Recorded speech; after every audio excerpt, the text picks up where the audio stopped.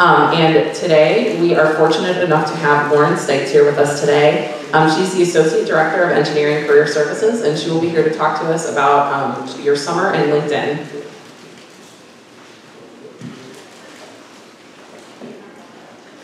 All right. Can you hear me? All right, so today we're talking about And the question is, are you LinkedIn? So we're going to talk about probably some things you already know, hopefully some things that maybe you haven't considered yet. And then we will be also kind of talking about a few other things in that when we wrap up. So first of all, LinkedIn. How many of you currently have a LinkedIn account?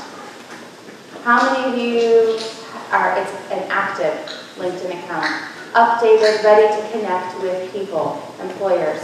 All right, not bad. Well done. So, I'm just gonna stay back here in my own little happy space. Sure.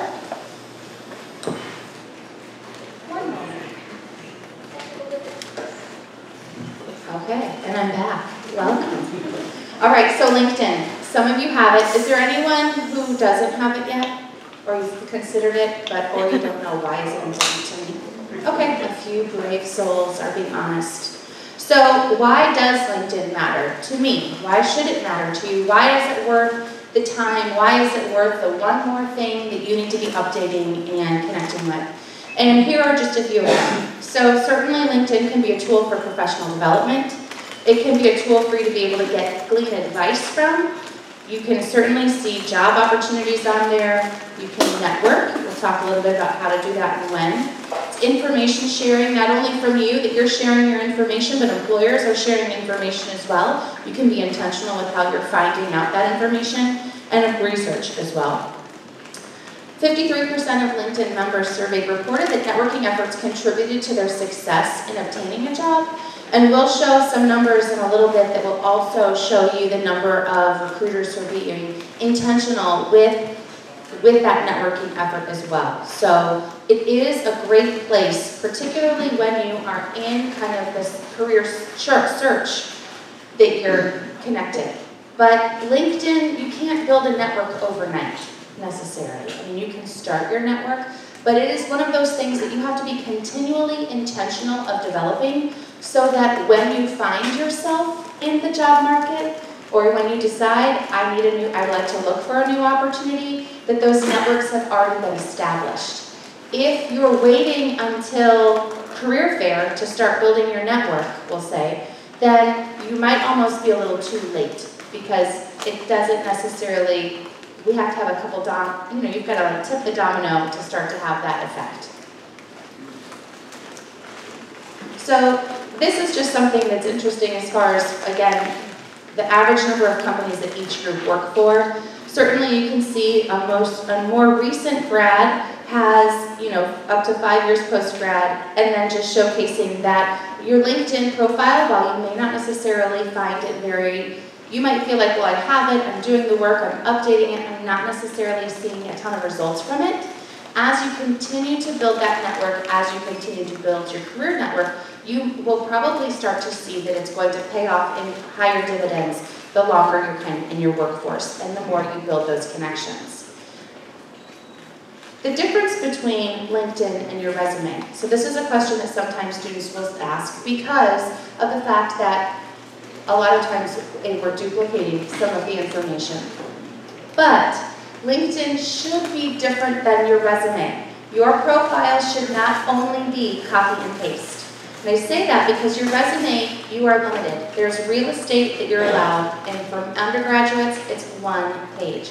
How many of you are graduate students in the room? Or, or beyond? Graduate or beyond. Okay. So for you, for graduate students or for those who have, are currently in the workforce and have been there for, for some time, you are able to have a one to two page resume or you know, up to two pages. But for all my undergraduates, you're really not the exception to the rule of, a one, of more than one page. So just kind of keeping that in mind. However, LinkedIn doesn't have a page limit. So you, if you're feeling, you know, I want to tell them all the things that I've done, LinkedIn is a place where you can do that. If you are a freshman um, and currently interning, then you can have your high school information on LinkedIn. That might still be relevant.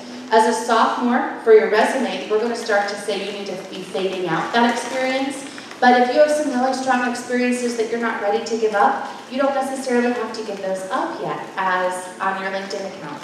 So you can be building those affiliations and even networking, connecting with those people, whether it's from high school that have went to different institutions. Certainly classmates can be a place where you're connecting and building your network. But remember too that your LinkedIn is a professional social media, not a, um, not a personal.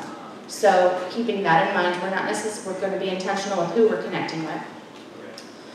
Of course, your LinkedIn allows you to validate your skills through skills endorsements also allows you to easily share companies or industries you're interested in. This is really valuable for you if you're not aware because employers can also filter jobs. They can be filtering, job seekers based on those who are following them.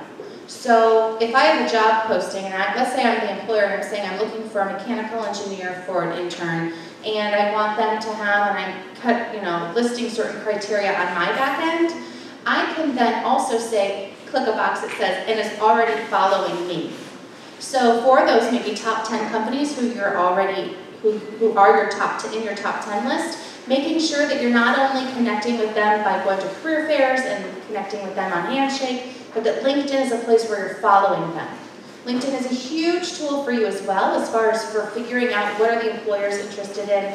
Many employers are act actively engaged on LinkedIn. They're sharing information that they want people to know about, so it's a great talking point when you are in that networking environment, like a career fair, to be able to say, oh yeah, I just recently, I follow you on LinkedIn, I saw you recently shared this, can you tell me more about that? So that can be a way to be doing that.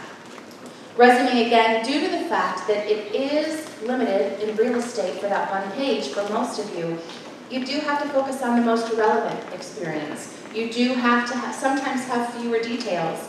We are really trying to pack those bullet points on your resume with as much content and being impactful as we can, but we don't get a chance to write a paragraph. We don't get to say that the favorite part of my internship experience this past summer was X. And that's something that you can share on LinkedIn. Your LinkedIn shouldn't necessarily be copy-paste of what you've done on your resume. Resume intention should be bullet points, your LinkedIn can be more about telling your story. What did you like most about your internship? Were you focused on working with a team and engaged in those in a team environment? And so it can be more of, you can have a little bit more of those I's or we's that we wouldn't typically see on a resume.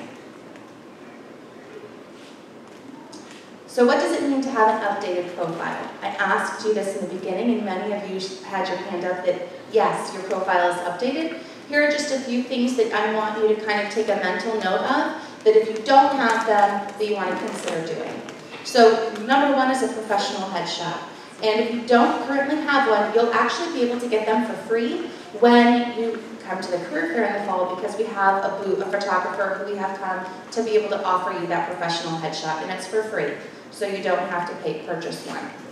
Clear descriptions and information under each section heading is important as well so that they know what you've done. Again, similar to that resume bullet point, but maybe with a little bit more detail. Customizing your profile for your URL is important. So when you first look at your LinkedIn profile, there's the, your link, but it, it runs on with multiple numbers. But you can customize that to just maybe it's your last name or whatever you like. Again, keep it professional. Um, so not sassy123, but keeping it professional maybe with your last name or something there. And then again, this is a place where you can have your skills endorsed. So whether that's through fellow classmates who perhaps were working on a team with you, from your um, managers who you've been working with this past summer, those are all ways where you can be getting endorsements from those. The other advantage of LinkedIn is that you're able to be building your social capital. And do any of you know what I mean by that? So social capital, an example of that would be that I'm taking this class this fall because my friend told me that I need to take this advisor or I need to have this professor because they're really good. Social capital is similar to your networking. It's being able to get information from others, and that can be both professional setting with employers, also personal setting from your classmates or friends, but it's building that social capital through social media, basically. It doesn't, sometimes it can be more personal, but it can also be through social media channels. So, how can I use LinkedIn or how are you currently using LinkedIn? One of the probably, so we offer in engineering career services, we offer LinkedIn reviews. So that's one thing. If you're looking at your, your LinkedIn profile, you think it looks pretty good, but you'd like to get a second opinion, we're happy to be that for you. But um, one of the top questions I probably get from students when they do come in to talk to us is whether or not they need LinkedIn Premium. If you're actively engaged in your LinkedIn, if you aren't currently a premium user, it's probably an email you get from time to time. Ooh, 30 days free, LinkedIn Premium. Just join here. Do you need it? Are you going, you know, is it going to, students asking, do I need to have this feature? I think that LinkedIn Premium from a personal standpoint can be a great feature as far as providing you with additional information, but it's not going to get you the job. So if you feel like this is the tool that you're going to be intentional for using and that you're going to spend time in this resource, can it add value? Yes. Is it going to guarantee that you get a job through LinkedIn? No. So if you already, you know, for me personally, I would almost probably encourage that you really focus your attention, the, uh, intention is my word apparently for today. You're intention, intentional with getting on Handshake, seeing who's coming on campus, connecting to the employers who are already looking for you. That's one advantage of Handshake. Handshake, those employers are posting, they're selecting the schools they want to. So even though they might intend, they might have you go to their website to apply, they have been, they have chosen Illinois as candidates that they want to see. So that's an advantage for you. You don't necessarily get that from the LinkedIn platform. However, there are plenty of opportunities that employers are posting on LinkedIn so it is an additional tool that I would recommend that you use, but don't miss out on the opportunities that are literally at your, at your front door, at the ARC, at maybe even in your classes where employers are coming to talk to you. So just keeping those, this is a tool. This is not the one and only tool you use, but it can be a very valuable tool for you. One way it's a valuable tool is to be able to connect with your alumni. So if you are currently following or have joined the University of Illinois at Urbana-Champaign group on LinkedIn, I would recommend that you do so. You can use filters through LinkedIn, and that's a way where you can even filter based on when were the recent graduates, where are they working. You can then kind of do some, some digging, some sleuthing. So be cautious as well with LinkedIn because you can certainly fall into the rabbit hole of ooh, like who are these majors and where did they go? And suddenly it's two hours later and you don't know what happened.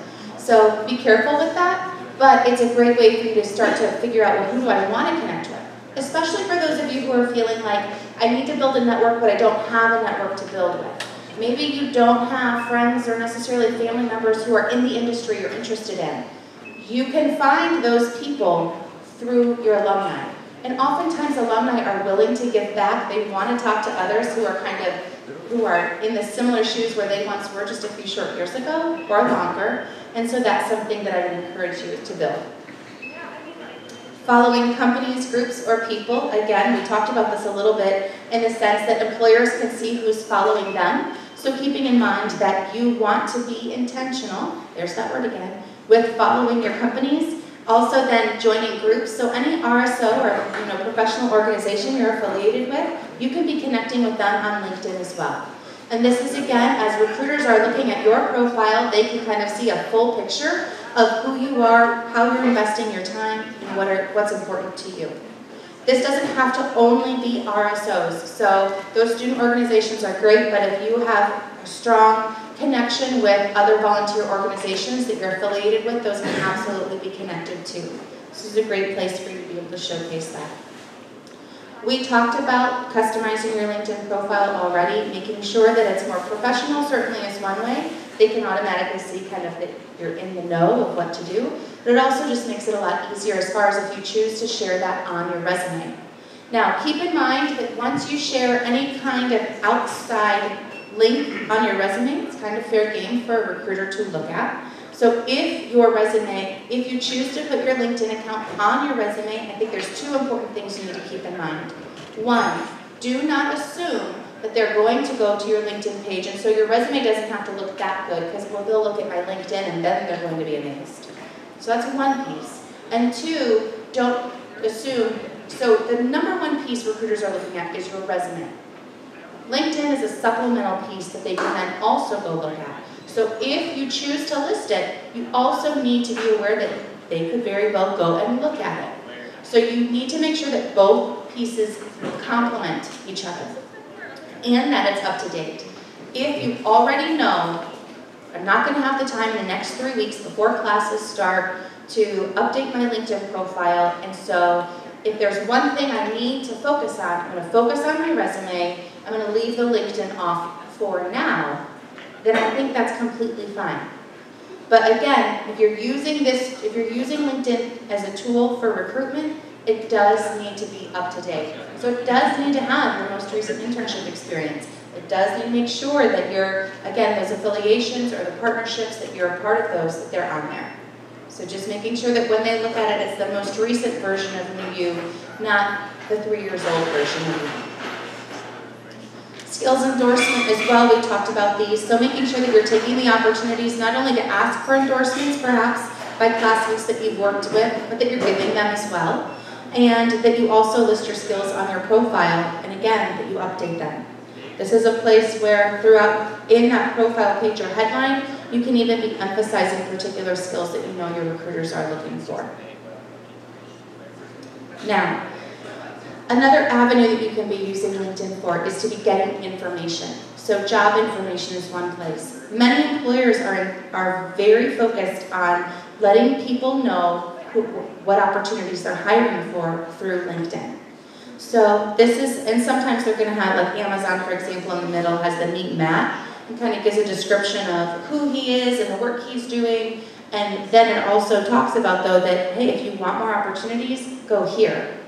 I have heard of some companies who only post certain, especially maybe more tech or dev positions, on LinkedIn because they want those people that are already in this platform or who are using those features. So that can be another place where this can be a great resource. Again, to follow those companies can be helpful because they're going to start to show up on your feed. You won't have to be as purposeful to go find them because they're already going to start showing up. So just another re reason why you should be following employers. It can also be helpful for you to use LinkedIn as far as research before an interview. So this might be that you can look to see if you're looking for interviews and in that job search process, well, maybe right now you're thinking, okay, if I'm in this major, I can only do this job. But this is a great way for you to maybe do some exploring on what are other people in your major doing. And so again, even for example, at that University of Illinois webpage, not really webpage, but group, you can filter for your major, and then you can just quickly scroll through and see what are other people doing. And it might be an opportunity for you, either one, to be able to kind of see this career path that isn't always linear as far as for where they went and what they did, but also to give you ideas so that if you're currently in a panic of, I don't want to do that, to give you opportunity, to give you some ideas of other things you might be able to do. Again, as far as for before the interview, we mentioned this, and even before career fair, any kind of networking event, looking on their LinkedIn page to see what are they sharing. For example, um, can't think of what rail company, I think it was CN, that was advert, that was blasting up their feed for a while about how they were using drones to look at kind of the damage different bridges were having so that they could then decide what kind of repairs were needed. And this was one way that they were implementing technology and it was a great, it was just something that they were really showcasing. And they were looking for CS majors. So that was something that, I don't know that CS always says, oh, rail, right? But this was something that they were being intentional about pushing out. So it's something then where you can, again, as you're going to talk to those employers, say, hey, I recently saw this. This is a really cool initiative. Can you tell me more about how I might fit with that? So again, also helps that it's not probably the question or comment that every other person in front of you on the line is talking about. Unless it's all of you in the same line, and then you already know the tip to use LinkedIn, and then maybe. But a lot of times students aren't necessarily, we aren't necessarily using this tool to what it can be used for. And then again, you can also figure out the size of the company. And again, you can also be looking through companies, you can filter to see which alumni are working there. And it might even be that you're finding a connection of a friend from maybe a couple years ago that they started at one company, but they've moved, so they're working somewhere else now. And then, when you find that person, before your interview, what should you, what do you think I'm going to say you should do? You should reach out to them. So you can say, hey, I'm, you can even LinkedIn message them. Hey, I, I saw that you're currently working for this company. I have an interview coming up. Would you be willing to talk to me about, you know, would you be willing to tell me what the interview process is like? Or is there anything I really need to make sure that I'm aware of before I walk into the interview? So using kind of that insider knowledge. Again, then, just another page showing that you know, sometimes companies are showcasing recruiter tips, or they're talking again, posting specific positions through their LinkedIn channel, so it's important that you're actively engaged on LinkedIn. Now, another few pieces I wanted to share with you was kind of some information from JobVite. So they do a recruitment assessment every couple years. And one of the things that, according to recruiters, the top investments for employers as they're growing their brand is social media. Of course, you can see their company website and advertising as well. But I think this is important for you to be aware of, that social media is a place that employers are investing their time. And so for you to be actively engaged with them on those social channels can be an added value for you. 77% of recruiters are focusing on LinkedIn. We're seeing a strong number in Facebook as well, and this isn't a cumulative number as you can see because they are over 100%. But another place where we're seeing employers being intentional with where they're showing up is Instagram. So if you're currently an IG user and you are thinking that this is just another place for you that you could again be following employers and a way for you to see that they're using how they're using these social media tools. Now, a lot of times, from a career services standpoint, when we talk to students, we tell you to lock down your social media accounts. And this is just something I want to remind you of because, of course, your LinkedIn profile should be public. It should also be, um, but there, uh, as maybe you're following, let's say you're following other employers on, maybe it's Facebook or maybe it is Instagram, you're just being aware of the things that they're looking for. So you can see the good and the bad of what they're looking out for when they're doing those scans, when they're looking. And so, again, just keeping in mind the engagement in your local organizations, examples of your work is really important and a feature that you can be using on LinkedIn. So feel free for those projects if you can share them to do that. They're also looking for mutual connections. If they see that you're connected with somebody they know, they're probably going to reach out to that person and say, hey, I, I see you know this person. Can you tell me more about that? You can, of course, see the bad things as well, so just being careful that you're not, you know, again, that you're being careful about what you're choosing to show on your social media. As far as for, again, those final tips, just to encourage, to remind you of, you want to make sure that your profile is updated to the kind of code that we had mentioned before. You want to make sure that you're using your connections to U of I, and that can also include career services. So whether it's connecting with me and then seeing the different connections that I have and potentially connecting out, whether it's connecting with your classmates, your professors, certainly career fair, for example, employers don't typically give out business cards, oftentimes because the rule is what they do for one, they must do for all. Our career fairs are huge. That 6,000, 10,000 students are attending our fairs, and so they're not going to bring 10,000 business cards. But if you're, if you're able to you know, get their name and you already know, hopefully, remember the company, that can be something where you can connect with them later. And in the note, you could say, it was great connecting with you for a few moments at the career fair today or this week. You know, I'd appreciate the connection. Again, we talked about how you can learn more about the jobs and careers you're interested in. And the biggest piece is that you start connecting with people. That your network on LinkedIn isn't going to grow until you start following people and connecting with them. But the other big piece, as we've already discussed too with LinkedIn, is that your maintenance is required. Um, one way you can be maintaining your LinkedIn is by congratulating people on success. LinkedIn does a great job of already notifying you of different ways that you can do that. LinkedIn has certainly become more social in nature as far as letting you know when someone has a birthday or how many years they've been working in a particular organization. So you can be just saying, congratulations on working at this company for three years. Um, so that's one way. Again, you can also be intentional with letting your former coworkers or teammates know if you accept a new job. That can just be, again, a way of maintaining it and keeping it kind of active. Follow up with people you meet at events like we talked about, and then check in with your former coworkers and classmates once every six months or so to see how they're doing. So that can be a way that, that sometimes I've heard more than one story of a student who reaches out to someone just even kind of like a generic message of, hey, you know, it's been a while, checking in to see how you're liking your job. And they might, and you know, your position. And they respond, maybe it's, oh, it's great, our team is growing, and, you know, and how are things with you?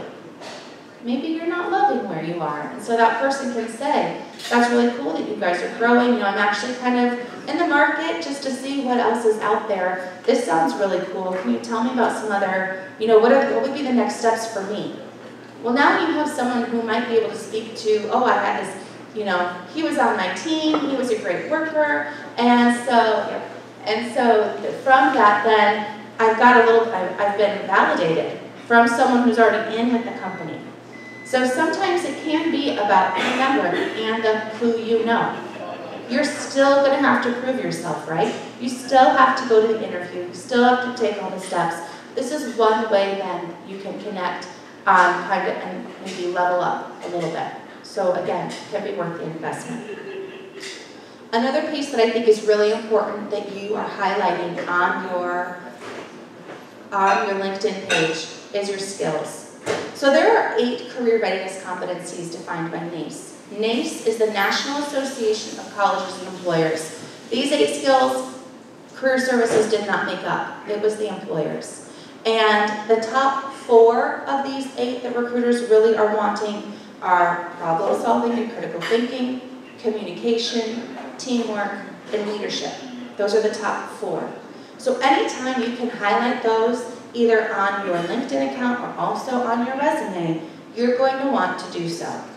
Career readiness you know, means that you have the skills needed for a successful transition into the workplace. You've currently had that experience this past summer, and so now as you're thinking about what have you done, thinking in these terms can be important as well. Now, maybe you're thinking, okay, well, I don't have any leadership, I didn't have any leadership skills this summer, I was an intern. But I want you to think about then maybe what this next year looks like for you. It could be through an RSO, it can be through your different team projects that you're doing, and through your classes, and thinking about how are you highlighting those either on your resume or also how are you highlighting them on your LinkedIn page. Did you work with a team of three this summer, or did you lead a team of three?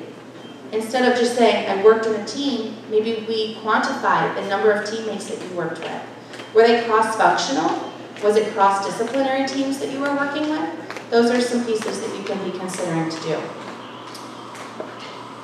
If you're thinking about different examples that maybe you have been affiliated with, here are some ways that you can actually say these things. And those are really tiny, aren't they? Looking. So research lab, perhaps you've been involved in a research lab for several years, and so you can say that you coached and trained three new lab assistants as they joined the study. Maybe you're a programmer, so you can talk about that you worked in a team of seven, uh, you worked in a team of seven others and communicated to management the presence of over 100 bugs in the new software suite. Maybe you are a leader in a, registered organization on campus and so you can say that you advance to leadership position by taking on an additional five hours per week.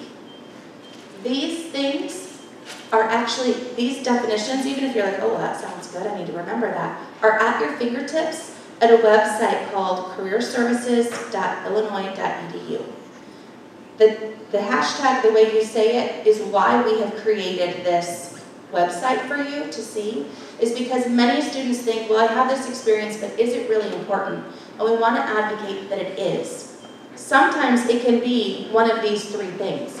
Maybe you're a resident and maybe you're an RA, so you're a resident advisor. You don't really know how to highlight that. Or maybe you work during the school year, maybe you're going to be here, but maybe previous experience, you were in dining, in the dining halls. Those experiences, depending upon how we shape them and talk about them, can be valuable to employers when we think about, again, go reflect on those career readiness skills and what are they looking for. Any questions? Okay. So just as a reminder, and a plug for ECS, of course, I want to remind you that ECS is available for you as far as for students. Um, as, and even a year after you've graduated, you can connect with us. So we talk about, like I mentioned, we do LinkedIn reviews, but we also can talk about career exploration. We can be intent, we can go and talk about the elevator pitch and okay, now what do I say to employers as I go and talk to them? offer negotiation. If you're leaving this internship this summer and you already are being presented with an offer for full-time, we can talk to you about how to strategize and negotiate that offer. We can talk to you about your, about your cover letter reviews, professional communication, kind of basically kind of anything that's career related. We can help navigate that for you and we would, we would welcome that. Another thing, just so I want, since I have your attention, not only should you be um, updating your LinkedIn account after your experience this summer, we also want to make sure that you are updating your Handshake account. Adding this information now is going to be important too, as employers are going to getting more and more active on the platform to be posting opportunities. And you can already see a current running list of employers who are going to who are planning to attend the career fair, so that's going to be important too. Another resource I want to make sure you are all aware of that we are just now rolling out, so it's a brand new feature, is something called VMock. VMock is a brand new, um, basically, it's an ATS, but friendly one in a way. So, anyone know what an ATS is? A couple. An ATS is an applicant tracking system. Many employers use it. It's a machine. It is scanning your resume for keywords, and if you make the cut, move on to the next line. And so we have chosen to purchase this program for our students to use where you can then upload your resume. It's going to scan your resume and instead of just saying either yes or no, it's going to provide you feedback of ways that your resume can improve. Now this is not intended to replace any connection that you might have with our office. But it is a great resource as well because this one is not limited to 8 to 5, 8.30 to 5, which our office is. It's 24-hour access. So when you're up at 2 a.m. and you think, oh, I need to get my resume reviewed, you can actually go right here and, and have it quickly reviewed. We would also welcome and value your feedback with this platform. So if you get some feedback and you're like, well, I didn't really get why they said this, or I have, you know, I have complaints, or I, I really liked that they suggested this for my format. We are open to those, so don't feel like you have to stay angry and not share that feedback. Please provide it to us, and we'll continue to be working on it to make it better. But this is something that's brand new. You can absolutely use it. You just do vmock.com and then forward slash ECS Illinois. That is a resource available to you right now. The other thing I would be remiss to, if I didn't mention would be what's coming. Anyone know what that is? Bum. Yes, the Fall 2019 Career Fair. So that is happening September 10 and 11. It's 12 to 6 at the ARC. Obviously, as long as you haven't already accepted a position, we would encourage you to come and look for those future opportunities but you've already really found the, the, you know, the gold mine here at Research Park. And the fact that you have a local connection where you are currently not that far from campus, um, and that there are great opportunities not only for your internships over the summer, but also for for, for that, for part-time employment um, during the school year as well. So while I did mention earlier that dining hall services does have, it is valuable, there's a moment, there's a shift. And what that means is if you have the option to go back to dining services or work at Research Park, which one is more valuable to a recruiter? Research Park, right? You're doing probably more work that is in, that's related to where you're wanting to go. So there will be that moment where you're going to need to kind of analyze which direction is better for you. So just keeping that in mind. But yeah, it's going to be here before we know it, September 10 and 11, and career fair. So be ready for that. Otherwise, if there are no, are, are there questions about LinkedIn specifically, or if you have any afterwards, feel free to come up. I'm happy to talk with you one-on-one if you don't want to ask the entire group. And thank you so much for your time today and for being attentive listening, and have a great rest of your summer.